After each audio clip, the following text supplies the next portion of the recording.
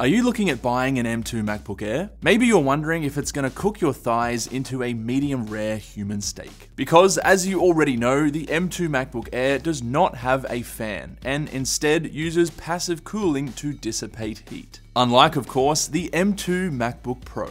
But even with the fan, some people claim that the M2 chip just runs really hot and thermal throttles a lot. So how about the M2 MacBook Air? How hot does it get? Does it thermal throttle? And what kind of performance loss can we expect compared to the M2 MacBook Pro? Well, in this video, I'm going to put the Air through a series of real life tests, compare the temperatures with the previous M1 MacBook Air, and also perform the most important test of them all, the lap test.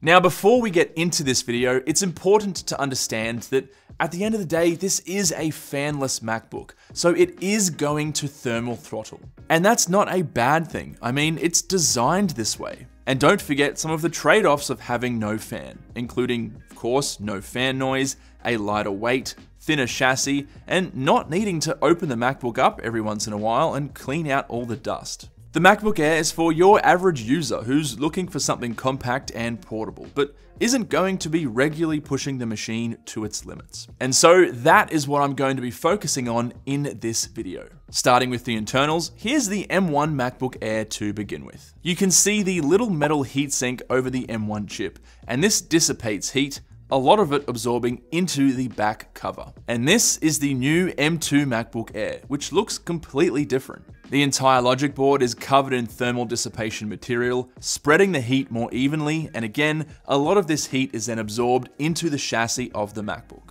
Contrasted with the M2 MacBook Pro, which has a metal heatsink over the M2 chip and a fan actively cooling this heatsink via an air intake at the rear. So as you can see, the thermal design has changed quite a lot between the M1 and now M2 MacBook Air.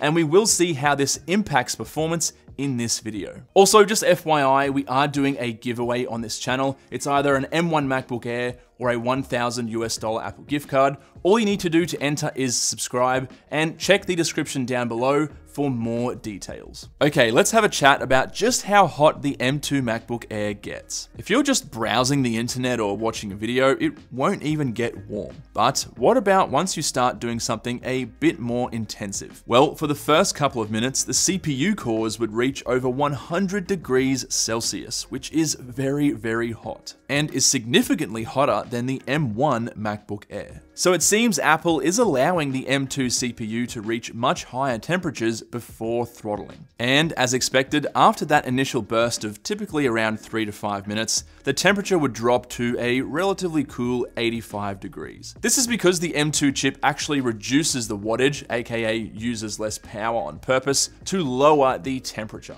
And you can see this in action during an entirely unrealistic thermal stress test I ran. The CPU performance cores on the M2 MacBook Air were initially the same as the M2 MacBook Pro, achieving the maximum 3.2 GHz clock speeds. However, after a few minutes, due to heat, they throttled down to around 2 GHz, unlike the MacBook Pro which stayed the same due to its fan keeping the M2 chip cooler. And you can also see that because of this, the M2 MacBook Air's power usage is greatly restricted, only using around 15 watts versus 26 watts on the Pro. So how does all of this relate to actual performance? Let's start with the CPU. Now bear in mind that unlike the GPU, this is an apples to apples comparison because both the M2 MacBook Air and M2 MacBook Pro base models, which we're comparing in this video, both of them come with 8 CPU cores. So if you do a quick code compilation or export a few Lightroom photos for example, and the CPU is only at 100% for a few minutes or less,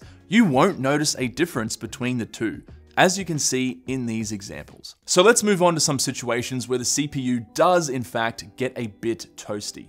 I'm going to start with Cinebench, which is a benchmark that stresses the CPU cores at 100% for about 10 minutes. And in my opinion, I don't really see many people putting their CPU under this much pressure for much longer than this, so I think this is a pretty good example. And looking at the results, you can see a pretty respectable performance from the M2 Air, only 8% slower than the M2 MacBook Pro. And this is also better than the 10% gap between the previous M1 MacBook Air and MacBook Pro generation. But if you're doing anything longer than about 10 minutes, this gap starts to widen. For all the developers and programmers out there, I compiled the Firefox source code and found that the air starts to throttle quite a bit once you get past that 10 minute threshold. You can also see that the difference between the M1 generation is smaller here, and that's because the M1 CPU cores use less wattage, resulting in lower overall temperatures and less throttling.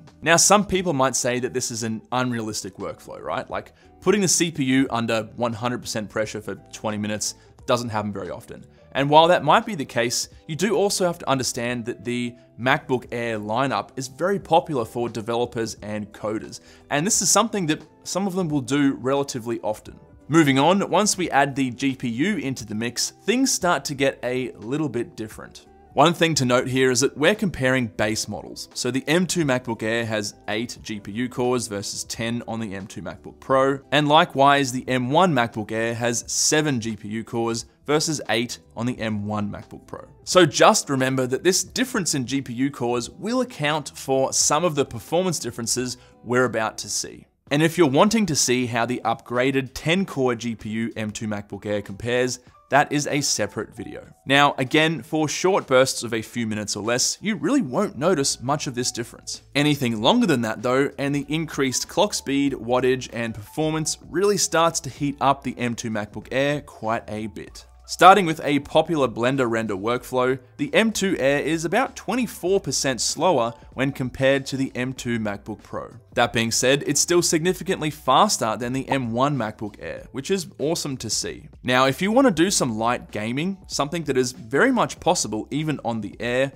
on paper and in synthetic benchmarks, the M2 MacBook Air should see a decent boost over the M1. In reality though, and the hotter the MacBook Air becomes, these results can vary. After playing Tomb Raider for 30 minutes to mimic a typical gaming session, and to make sure the CPU and GPU cores were as hot as possible, I achieved these results. The M2 MacBook Air's performance was a massive 32% less than the Pro, and wasn't that much better than the M1 MacBook Air. In all fairness to the M2 MacBook Air though, it does only have one extra GPU core when compared to the M1 MacBook Air, but it does still seem like all that additional heat is really starting to kick in here and impact performance of the M2. Moving on to some video editing, here's a 20 minute 4K project. This isn't a very demanding timeline, so it's perfect for the M2 MacBook Air. And the reason why both Air and Pro models are so close to each other is that they're taking advantage of their built-in hardware video encoders and decoders. And let's be honest, most people doing editing on the M2 MacBook Air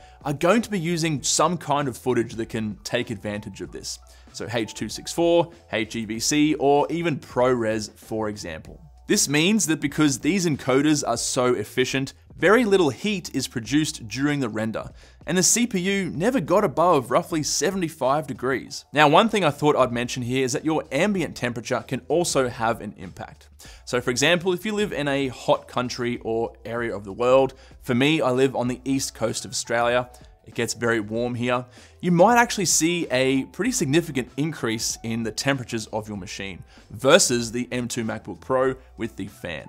Now, honestly, I don't think this will probably apply to you that much, even if you do live in a hot country, because most of the time you'll be inside or in air conditioning if you're doing anything intensive on your MacBook, but it is still something to consider. Okay, so moving on to the most important experiment in this video, and that is the lap test. Looking at a worst case scenario, for example when gaming or rendering 3D scenes, the M1 MacBook Air's chassis was a bit cooler than the M2, but only by about 4 degrees. Flipping them over and looking at the part that's actually going to be roasting your thighs, again, the M1 MacBook Air was slightly cooler, although both of them are still too hot to be comfortable on your lap. But if you're just browsing the internet or even editing a video without rendering or anything like that, they're perfectly fine to have on your lap. Okay, so overall, I think we found pretty much what we expected. For those short, 5 minute or less intensive tasks, you really won't see any major differences between the M2 MacBook Air and the M2 MacBook Pro.